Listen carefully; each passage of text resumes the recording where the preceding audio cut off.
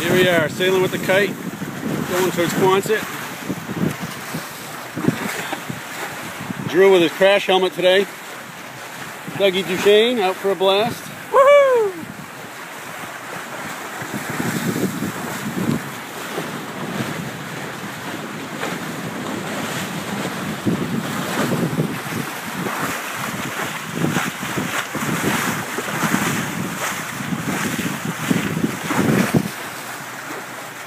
How's the speedo doing, Drew? Power 15. 15, aye. Yep. Clear off the grab a little bit more wind. Annual regatta back there, a lot of 12 meters out.